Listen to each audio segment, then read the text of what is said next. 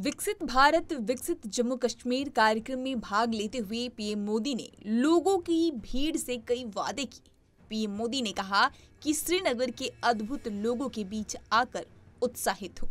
इसी के साथ आपको बता दें कि अनुच्छेद 370 के प्रावधानों को निरस्त किए जाने के बाद कश्मीर घाटी की पहली यात्रा पर पहुँचे प्रधानमंत्री मोदी ने गुरुवार को बड़ा ऐलान किया। उन्होंने कहा कि उनका मिशन जम्मू कश्मीर में वेड इन इंडिया, पहल को बढ़ावा देना है।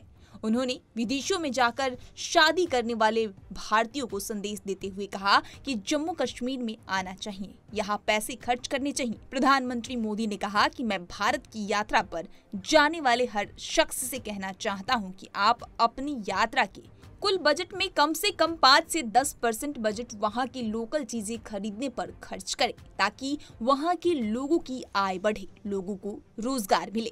इसी से टूरिज़्म बढ़ता है। ऐसा नहीं कि यहाँ आए, घूमे और चले गए। इसी के साथ पीएम मोदी ने वेड इन इंडिया पर क्या कुछ कहा, आप खुद सुने। मेरा मिर्ज़ा मिशन है वेड इन इंडिया शादी हिंदुस्तान में करो।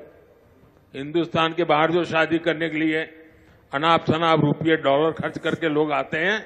जी नहीं वेड इन इंडिया अब कश्मीर और जम्मू के लोग, हमारे श्रीनगर के लोग, अब हमें वेड इन इंडिया के लिए लोगों को शादी के लिए यहाँ आने का मन कर जाए और यहाँ के पर बुकिंग करे, यहाँ तीन दिन, चार दिन बारात लेकर के आए, धूमधाम से खर्चा करे, यहाँ के लोगों को रोजी रोटी मिलेगी।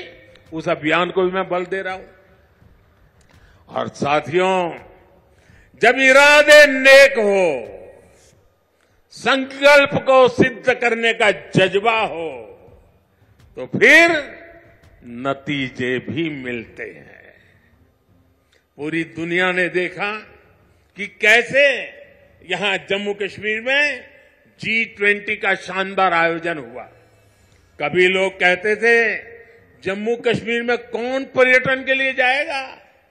आज यहाँ जम्मू कश्मीर में पर्यटन के सारे रिकॉर्ड टूट रहे हैं।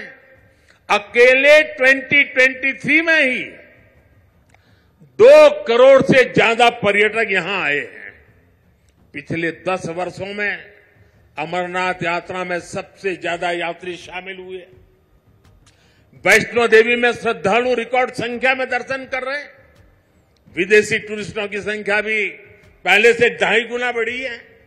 अब बड़े बड़े स्टार भी, सेलिब्रिटी भी, विदेशी मेहमान भी कश्मीर में आए बिना जाते नहीं है, वादियों में घूमने आते हैं यहाँ वीडियो बनाते हैं, रील बनाते हैं, और वायरल हो रही है। साथियों, जम्मू कश्मीर में पर्यटन के साथ आपको बता दें कि मेक इन इंडिया के तर्ज पर पीएम मोदी ने वेड इन इंडिया को बढ़ावा देने की बात कही है। ऐसा अनुमान है कि हर साल पाँच हज़ार से अधिक भारतीय कपल विदेशों में जाकर शादी करते हैं।